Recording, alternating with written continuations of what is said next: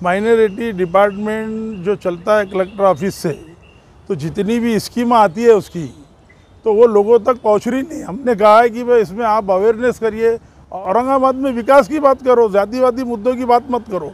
ये आघाड़ी गवर्नमेंट ने जो तो विकास करना चाहिए, ना कि जातिवादी मुद्दों के ऊपर बहस करना चाहिए। ये राजनीति सिर्फ़ और सिर्फ़ बीजेपी करती है, हमारे पास में नहीं है। और आघाड़ी सरकार में भी अगर कोई करता है, शिवसेना का तो वो उनका स्टैंड है, हमको कोई लेना देना नहीं है। हम डायरेक्ट उसके खिलाफ में है।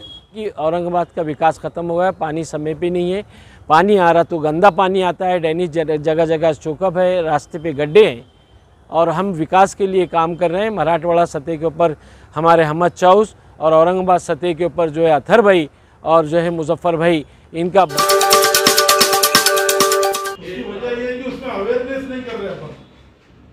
उनके चाहिए कि ये मीटिंग आए कुछ कार्यकर्ता है समाज सेवक जो लोग आए ऐसे लोगों को बुला के उसकी बात करना उसमें स्टाफ बढ़ाना चाहिए। अभी अपने पास एक ही आदमी है यहाँ पर।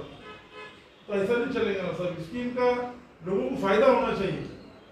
जितनी भी स्कीम है उसके अंडर में चल रही है। एक लेडीज़ है जिला परिषद की डिप्यूटेशन पे। है टोटल 59 योजना है जो राज्य शासन और केंद्र शासन से संबंधित है।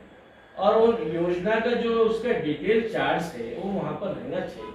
और संबंधी यहाँ एनजीओ से या जिस पार्टी के जो भी लोग रहते हैं एक्सपाइज है उनको भी इसकी मालूमात होना एक आदमी में कुछ भी नहीं हो सकता और बहुत सा पैसा आखिर में हो जाता है लास्ट मोमेंट में वो योजना का सही माहिती नहीं होने की वजह से पैसा सरकार को वापस चले जा रहा है। हमारी आपसे रिक्वेस्ट है कि वहाँ स्टाफ दीजिए और ये जो पैसा आ रहा है, ये लोगों को मालूम में इसको करिए अवेयरनेस करने के लिए कुछ दो महीने तीन महीने को कुछ तो भी आप इस तरह का प्रोग्राम एक्टिविटीज़ रखिए और जहाँ हमारी ज़रूरत पड़ती तो बोलिए।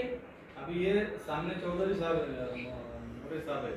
हाँ नहीं अभी मीटिंग को गए। हाँ पास का विषय है मैं कलेक्टर साहब भी आज नहीं है। हाँ वो बॉम्बे गए मालूम पड़ा भाई साहब की तबीयत के बाद हाँ। यस तो वो हम बोल के भी कुछ हो नहीं सकता कि वो शासन को भेजना पड़ेगा। ठीक है, हम उन्होंने करेंगे। हमने ऊपर से दिया है। ना जैसे शासन हमको यदि इसमें ज़्यादा दो की स्ट्रेंथ होगी और हमने एक ही रखा है तो हम एक देखेंगे क्योंकि वैकेंसी पोजीशन यहाँ पे भी पचास साठ तक के लोग कम ही है हर जगह। कांग्रेस का हमारी नेशनल पार्टी चप्पल हो? नहीं ये मुजफ्फर भाई और पटेल साहब मुजफ्फर भी हैं क्या है? उधर से।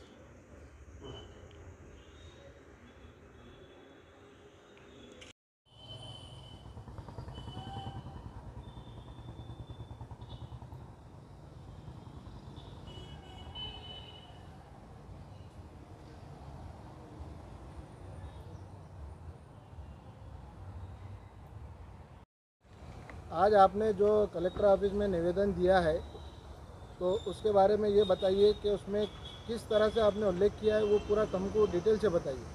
माइनॉरिटी डिपार्टमेंट जो चलता है कलेक्टर ऑफ़िस से तो जितनी भी स्कीम आती है उसकी तो वो लोगों तक पहुँच रही नहीं। हमने कहा है कि भाई इसमें आप अवेयरनेस करिए और उस ऑफ़िस में जो है तो लोग कम है। तो ऑफ़िस में लोग बढ़ाइए, ज़्यादा से ज़्यादा, और यहाँ नहीं पूरे मराठवाड़े में जहाँ जहाँ पर भी माइनॉरिटी माइनॉरिटी डिपार्टमेंट है, उसके अंदर जो है तो लोग बढ़ाना चाहिए और उसमें अवेयरनेस करना चाहिए। जितनी स्कीम आती है वो लोगों तक पहुँचती नहीं।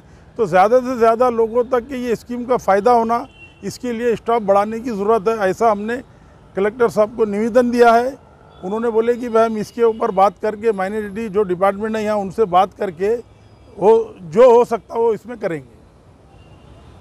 अभी हाल ही के कुछ दिनों में हमारे पालक मंत्री सुभाष देसाई औरंगाबाद के दौरे पर आए हुए थे।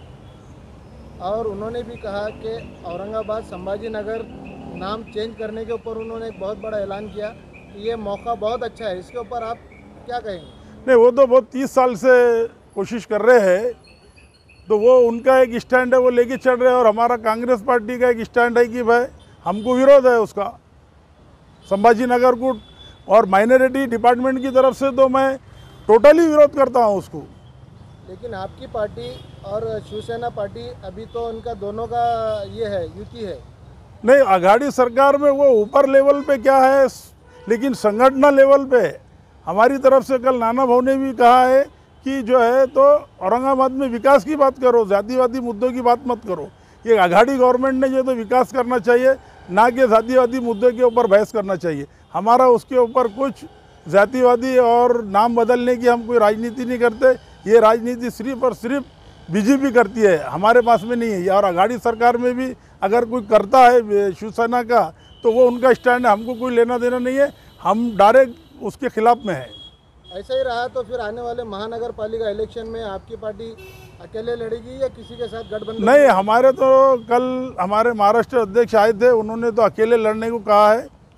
और हम जो है तो कारपोरेशन अकेले लड़ेंगे। आप 10 साल नगर सेवक रह चुके हैं औरंगाबाद की हालत कैसी है रोड का मसला है पीने के पानी का मसला है अल्पसंख्यक लोगों का मसला है सब मसले है। आप बखूबी जानते हैं आप पार्टी की तरफ़ से क्या कहना चाहेंगे? आज आपने जो निवेदन दिया है वो किस लिए दिया है? वो पूरा हमको यानी डिटेल से बताइए आप। आज कलेक्टर ऑफ़िस के अंदर हमने यहाँ पर एक निवेदन जो दिया है तो हमारे अहमद चौध साहब जो मराठवाड़े के अध्यक्ष हैं और अथर भाई जो है तो शायद सिटी के अध्यक्ष है और जो है हमारे यूथ कांग्रेस के अध्यक्ष जो थे मुजफ्फर भाई और बाकी के विश्व पटेल साहब और बाकी दूसरे साथी जो है, ये सबने मिलकर माइनॉरिटी की जो योजना स्टेट गवर्नमेंट की और सेंट्रल गवर्नमेंट ने जो योजना निकाली है अल्पसंख्यक के लिए, वो तकरीबन उनसाठ योजना है। वो उनसाठ योजना का जो बजट है, वो आता है और वो समय पे खर्चा होना चाहिए। मगर कलेक्टर ऑफ़िस के अंदर एक ही स्टाफ है और मैंडेटिस की मालूम देने वाला कोई नहीं है मालूम देने का एक बोर्ड नहीं रखा हुआ है और उसके ऊपर जो है ये पैसा वक्त पे ख़र्चा नहीं होता है और लोगों की इसकी मालूम नहीं होती। उसकी वजह से पैसा ये एंड टाइम पे वापस अक्सर अक्सर पैसा वापस चल जाता है। ये पैसा वापस ना जाए, सरकार ने जो योजना निकाली है, अल्पसंख्यक के लिए उन तक ये पैसा पहुँचे और इसका लाभ मिले। इसके लिए वहाँ पर स्टाफ में इजाफा करना चाहिए। वो योजनाओं को जो है अवेयरनेस पैदा करने के लिए एन को पार्टीज़ के जो ज़िम्मेदार हैं, उनके तरफ़ से, उनके मार्फत पेपर के माध्यम से इस पर काम करना चाहिए और जो लाभार्थी है, उन तक ये बात पहुँचना चाहिए। ऐसा नहीं होता। इसके लिए हमने कलेक्टर साहब से मिले आज और जो मिल जो है निवेदन दिए, उन्होंने कलेक्टर साहब ने बताया कि इसके ऊपर बहुत जल्दी से गौर करके, बहुत जल्दी से इस पर अमल बजावनी की जाएँगी। आप आने वाले महानगर पालिका के इलेक्शन किस मुद्दे पर लड़ेंगे? विकास मुद्दा है और हकीकत में विकास क्योंकि औरंगाबाद शहर जो एक एशिया का सबसे तेज़ी से बढ़ने वाला शहर था आज औरंगाबाद की हालत इतनी ज़्यादा ख़राब हो गई है कि ऐसा नहीं लग रहा है कि गड्ढे में ए, सड़क है सड़क में गड्ढा है क्या है पता नहीं। इतनी बुरी हालत है कि इसका विकास के बुनियाद पर हम लड़ेंगे। और जब पहली जो महानगर पालिका बनी थी 1988 में 17 अप्रैल को 2000 तक हम जब तक थे, और उसके कुछ बाद। अभी ये हाल है कि औरंगाबाद का विकास ख़त्म हो गया, पानी समय पे नहीं है। पानी आ रहा तो गंदा पानी आता है डैनिश जगह जगह चौकअप है, रास्ते पे गड्ढे हैं, और हम विकास के लिए काम कर रहे हैं। मराठवाड़ा सतह के ऊपर हमारे हमद चाउस और औरंगाबाद सतह के ऊपर जो है अथर भाई और जो है मुजफ्फ़र भाई, इनका बहुत ज़ोर से यूथ कांग्रेस का काम चल रहा है, और इन्होंने जो है माइंड का काम और इन आने वाले वक्त के अंदर बहुत ज़्यादा औरंगाबाद में डेवलपमेंट होगा और माइनॉरिटी के मसाइल बहुत अच्छी तरह हल होंगे एम एम शेख साहब की जेर सरपरस्ती जो चेयरमैन है महाराष्ट्र की। यानी आप कह सकते हैं कि आने वाले इलेक्शन में आ, सारी सीटों पे कांग्रेस लड़ेगी और कांग्रेस का ही झंडा महानगर पालिका पर लहराएगा और महापौर भी कांग्रेस का होगा। हम ये आपको गारंटी के साथ बता सकते हैं कि अट्ठासी से लेके आज तक भी जो है कारपोरेशन ही जिस तरह से महाराष्ट्र में सरकार बनाने के अंदर जो शामिल है बगैर कांग्रेस के किसी की भी सरकार नहीं बन सकती। तो महा महानगर पालिका के अंदर कांग्रेस का बहुत बड़ा रोल रहेगा और वही मेयर बनाएगा और इंशाल्लाह उसी का मेयर बनेगा। आपका नाम बोलिए। मोहसिन अहमद मेरा नाम है मैं माजी नगर सेवक हूँ general secretary Maharashtra Pradesh Congress committee अल्पसंख्यक विभाग।